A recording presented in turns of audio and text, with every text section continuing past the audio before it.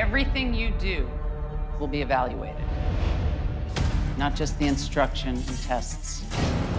There's no piece of information we're not interested in. We have 300 million Americans to protect and only 13,000 agents to do it with. So we need to know you better than you know yourselves. You got no idea what's coming. FX's Class of 09. Streaming May 10th. Only on Hulu.